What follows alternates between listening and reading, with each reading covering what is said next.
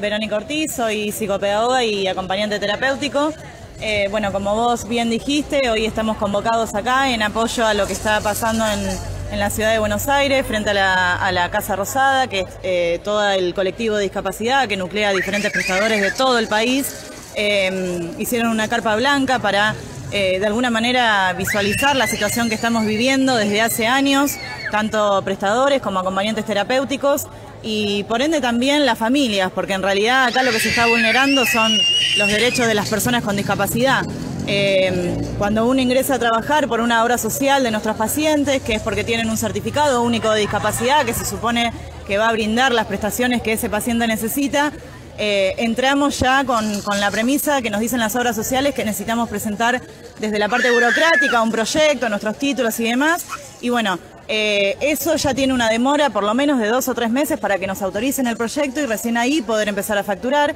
Y con esta demora que ellos mismos plantean, que lo ven como algo natural, que es de 60 a 90 días, eh, empezamos a cobrar recién a los seis meses porque digamos lo que está surgiendo, ayer lo escuchaba por ejemplo a, Fernando Galarraga, que es el director eh, de la Agencia Nacional de Discapacidad, diciendo que es que esto es algo histórico, que, que siempre fue así, digamos que es algo legal también, que cobremos a los 60 o 90 días, pero no le cuenta tampoco lo que se tarda a nivel burocrático para autorizar nuestros proyectos.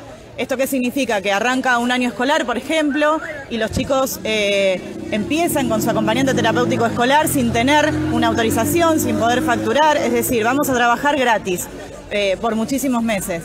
Y esto lo que está pasando o lo que está consiguiendo es que muchos profesionales eh, estén decidiendo empezar a, trabajar de manera privada, que no quieran trabajar más por obras sociales. Sabemos que es una situación muy compleja para las familias. Eh, y bueno, nada, necesitamos que de alguna manera alguien nos escuche este reclamo. Estamos hablando de una locura. Uno trabaja y recién a los seis meses quizás y con suerte empieza a cobrar lo de seis meses atrás y en proporciones, más subida la inflación arriba, es algo, un sueldo totalmente desvalorizado. Exacto, exacto. Eso es lo que tampoco se tiene en cuenta, digamos, toda la, la, desvalorización y, a la cantidad de meses, ¿no es cierto?, que nosotros cobramos, eh, sumarle la devaluación del país.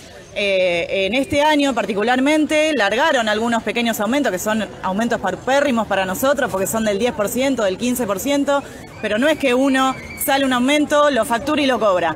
Eh, entonces, claramente, digamos, a eso es cuando nosotros hablamos de ajuste, ¿no es cierto? Porque este, estos días también se estuvo hablando mucho de ajuste en discapacidad. Bueno, nos referimos a eso justamente. Los ajustes pasan cuando uno factura y no lo cobra al mes siguiente, lo cobra con muchísimos meses eh, después y esa es la situación que nosotros vemos insostenible. También es insostenible para las familias poder solventar todos los tratamientos que un paciente necesita, porque estamos hablando de acompañantes terapéuticos, estamos hablando de psicólogos, psicopedagogos, fonaudiólogos, es decir, los pacientes con discapacidad necesitan un tratamiento integral. Fabiana, pertenezco a la, comunidad Asperger.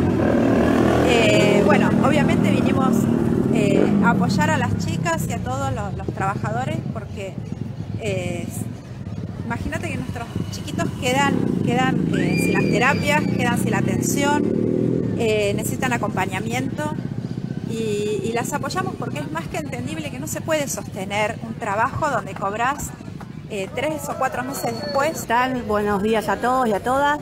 Bueno, expectativas, hay que, obviamente, que dejen de precarizar nuestro trabajo, tanto de las acompañantes terapéuticas, de las psicopedagogas, de la musicoterapeutas, de todos los prestadores de la salud.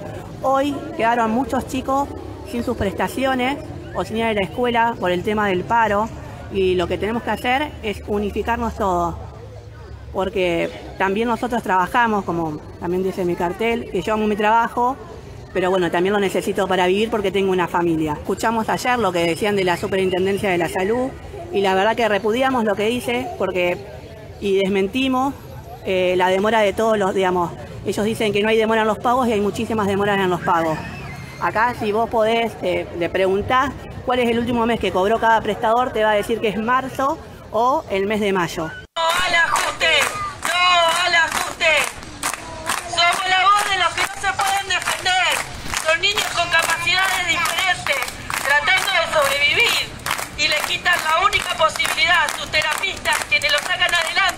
Les enseñan el camino de la vida, cómo subsistir, no al ajuste.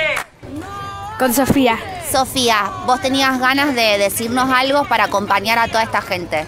Sí, eh, pido pido justicia a lo que no nos cobran a las personas y por favor que nos cobren, que la que la que la obra social nos cobren, por favor. Que les paguen y que no que no tengamos poca plata. Es muy necesario la plata para la comida, para pagar la comida, para la luz y para todo. Sofía, ¿cuántos años tenés? 10. ¿Con quién viniste hoy a la plaza? Con mi papá y con mi mamá. Las obras sociales culpan a la superintendencia, la superintendencia aquí y la vuelta vuelve otra vez a girar. Están vulnerando los derechos de las personas con discapacidad. Las personas con discapacidad se están quedando sin su tratamiento. Hay chicos que no pueden asistir a las escuelas porque no tienen sus acompañantes terapéuticos. Bueno, es parte de los recortes y ajustes que evidentemente en la economía argentina hay que hacer, pero muchachos, no acá, no en este sector, no en la educación.